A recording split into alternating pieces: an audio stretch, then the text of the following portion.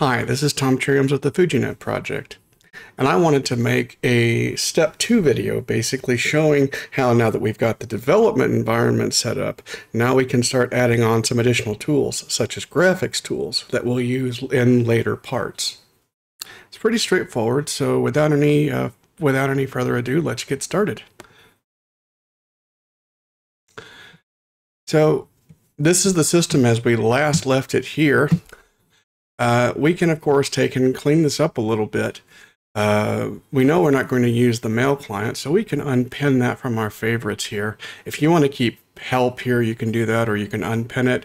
But we've got our terminal, we have our text editor, and we need to start adding some bits and some bits and pieces for graphics a great editor, uh, basically Photoshop like program for Linux is called GIMP. And the best way to install this, you might be tempted to use the software, uh, the add software uh, feature that's in Ubuntu.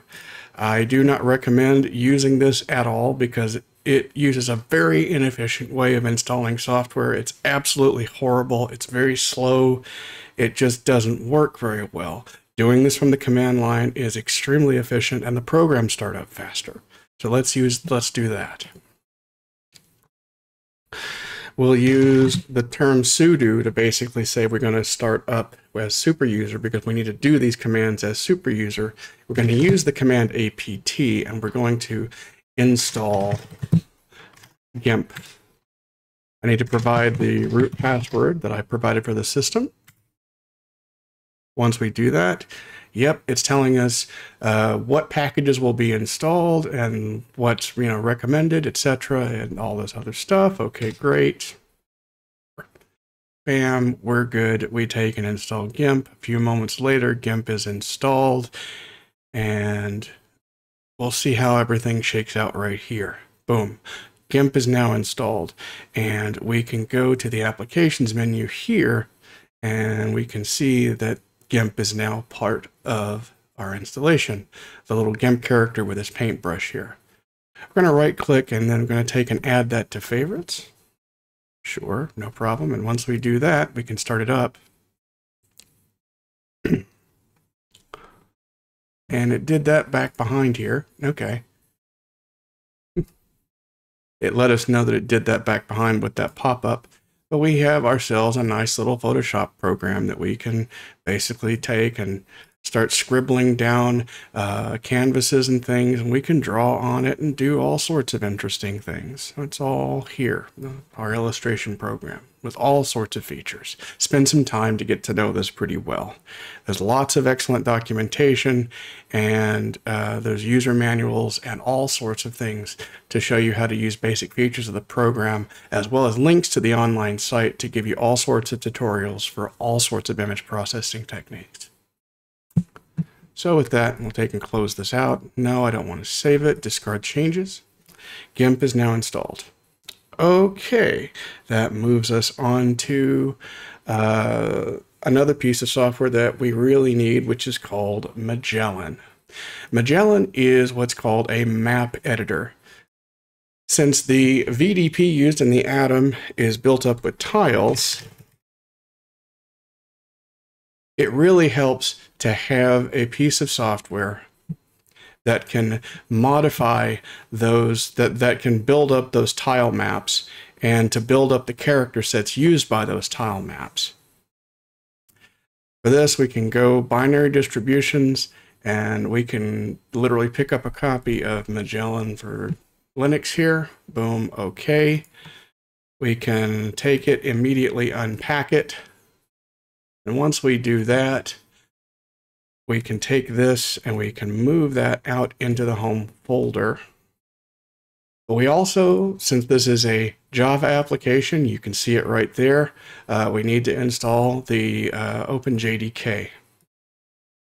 So we open up a terminal, sudo again, apt install OpenJDK 8 JDK. Enter my password again, go ahead and let the JDK install itself.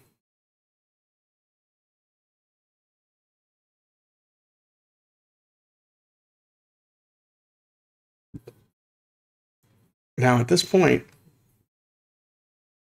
if I run Magellan, say run as right click and run as program, we'll see the Magellan editor start up here. But we can improve on this quite a bit. We're going to do a little bit more desktop integration with the same techniques that we did to get uh, Colem integrated into the desktop. So we break out our file window. We open up, uh, we go to hidden files again. We go to local, we go to share applications, and we open up Colem Desktop and we'll use this as a template. And we will call this, uh, first of all, it's in the Magellan folder as Magellan. That's the name of the program that's being executed. Of course, it's called Magellan. And the name of the icon that we're going to put into place is Magellan. And it will we are going to make another MIME type in here in a moment just for the special documents that it creates, which are .mag files. Okay, let's go ahead and save as. And we'll put ourselves back here, local, share, applications, and again, Magellan.desktop. Okay, when discard changes, reload. Okay, great. So now that's in place. Now we just need to take and put a dot, a, a, uh, an icon in place. Well, if you went, remember the where we were back at Magellan, that looks like a nice icon, don't you think? We could take and pull that. Let's copy that. Let's put that in the icons folder. Boom. Okay, bam. There it is. We rename it to the same lowercase Magellan that we put because icon equals lowercase Magellan like we put there. And this should be the first part of that integration. Now when we look, we see Magellan right there. We can go ahead and add that to favorites. Just go ahead. And when we launch it, bounces right into Magellan. Okay, last little bit of here, we'll go ahead and take this a step further and add a MIME type for the MAG files. So we go ahead and go into uh, same place as before, local, share. This is a MIME type, so we go into MIME, into packages, and we'll open up one of these as a template. Go ahead and close Magellan Desktop because we don't need it anymore. And we'll modify this guy to be as a template here. It's much the same thing. Application XMAG, because that's what we specified in the desktop file. .mag for the files we're looking for.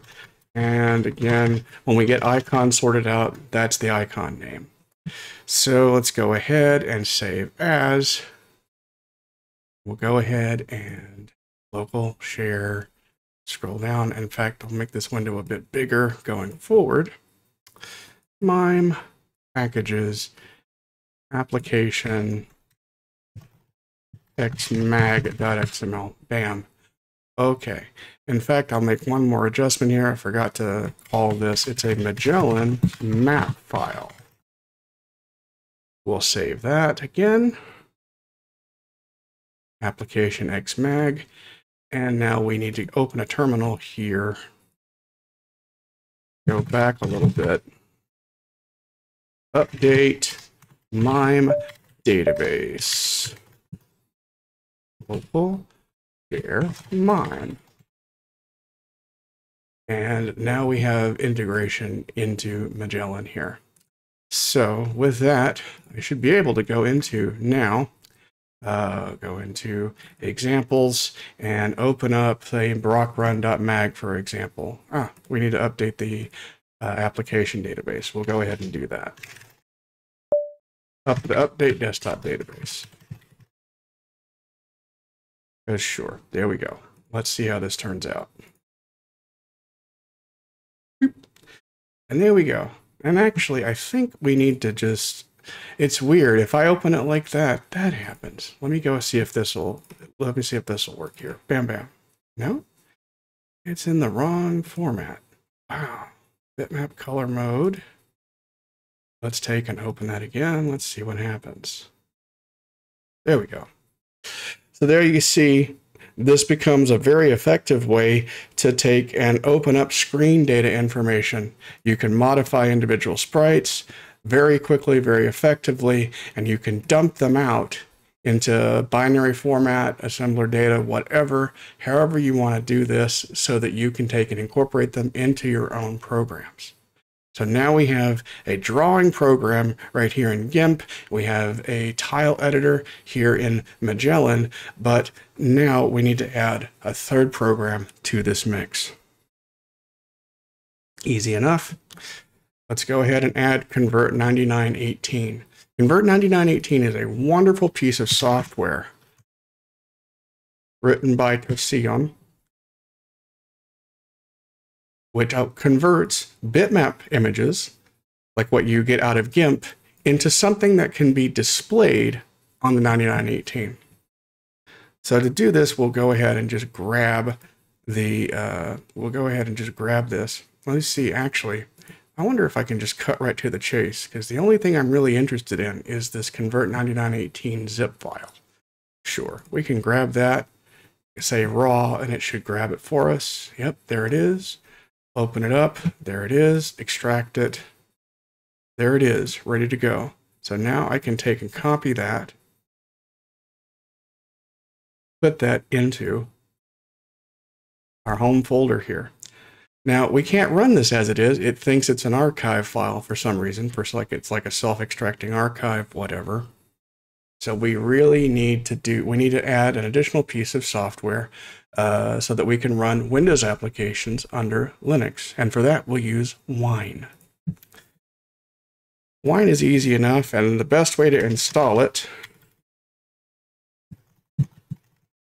is on this site right here. Oddly enough, called htmlvalidator.com. Go figure. And you can follow these instructions right here. This just lets you lets you verify that you have the that architecture available. We already know it's there, so all we really need to do is this command right here. And I'll put this to the side so I can so I don't have to trample over it. Then I need to import the create the keyrings directory. grab the WineHQ key, then take and grab the sources file for wine here, do an update from APT so that everything is in sync and it gets all the package information we just added.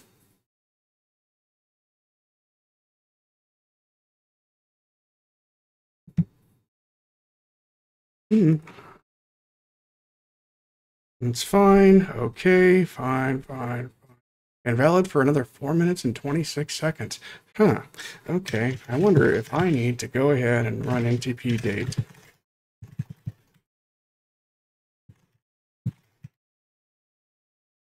My clock, my virtual machine clock seems a little off here. I'll go ahead and just do that.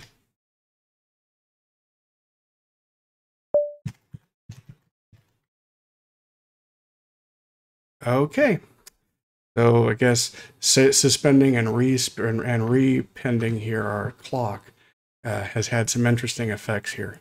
Don't mind that. This was something I needed to do because I'm running in a virtual machine and I'm constantly suspending and re-snapshotting it. Okay, let's try that again. So we will do apt update. Try again.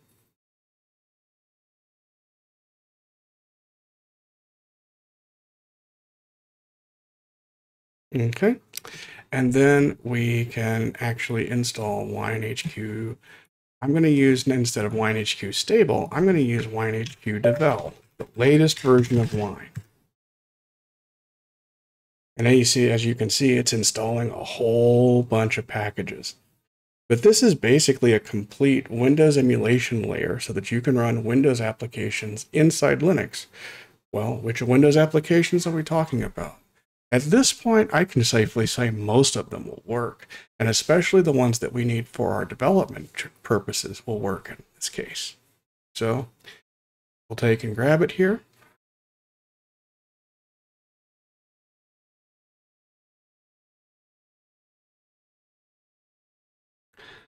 I'll take and pause for a second while this thing does its little fetch here. Okay. it needed a little lunch break there. So now it's installing all those packages it just downloaded.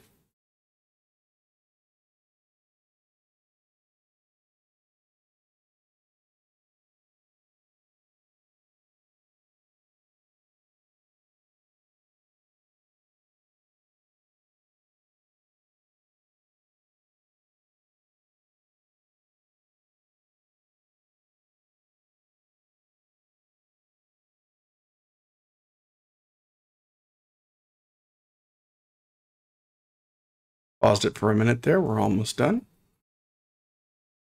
A lot of packages to install. And now wine is installed. Now we can run wine config and get it set up. Let it install what it needs to install.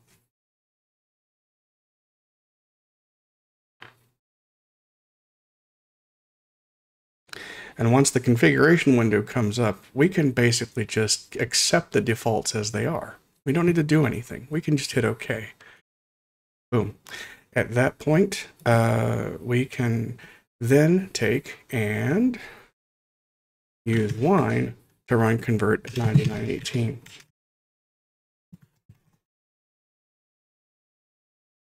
And there we see there's our uh, there's our 9918 window here, and it works really well.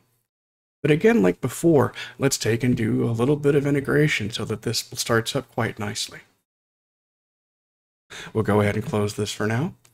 And we'll start by grabbing an icon. Well, this program doesn't really have an icon, and Tursi's icon on Twitter looks like a lion, so let's look for a lion character. Yeah, that looks pretty good. Okay. Copy that image go into files here again, local, share, icons, paste it here. And again, we'll just rename it to uh, convert 9918.ping. Here we go. Bam, we are good. So there's our icon. Now we just need to make a uh, particular little application desktop file like we have for everything else. We'll use Colem as our, as our temp template once again.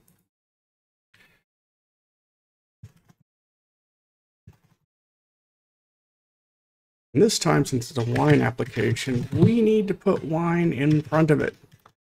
Uh, this is called Convert 9918. The icon is lowercase, Convert 9918, like we specified before. And uh, this program works best with ping files. So I'm going to say the MIME type is image.ping so that we can associate files to it. Sure. There we go. Bam. At that point, we can save as.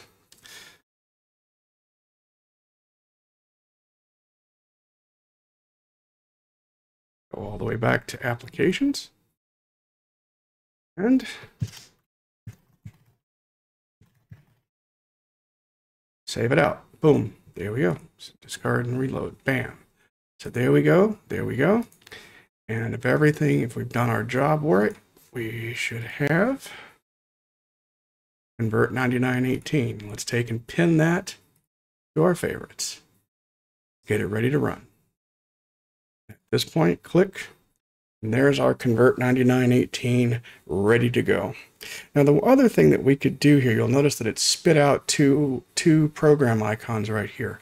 One for our Convert 9918, which is our main window, but it also made a separate special window just for the console log that it outputs while it's converting information. We really can't do much about this one, but we can keep this one from appearing by taking and changing one thing in the desktop file. We'll close this, come back to files, go back to applications, and we will edit. Sure, come on. I think, oh, it's because I'm still open. Okay, there we go. And we will add another line here.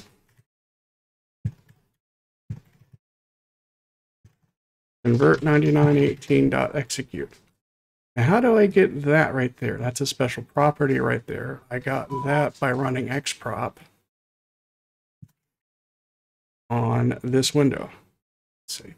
Open the window. And I want to get the WM class. This is the unique identifier for that window. Grab it. Sure. Okay, great. Sounds good to me. Put it in here, convert 9918, execute. And if we save it, boom, then we update our desktop database.